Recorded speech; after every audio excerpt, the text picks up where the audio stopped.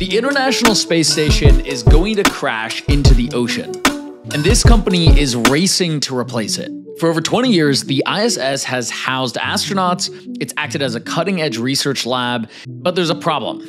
The ISS was only designed to orbit for 15 years. So NASA has written SpaceX an $843 million check to pull the ISS into the Pacific Ocean in 2030. In its place, Axiom Space is actually building a new modular space station.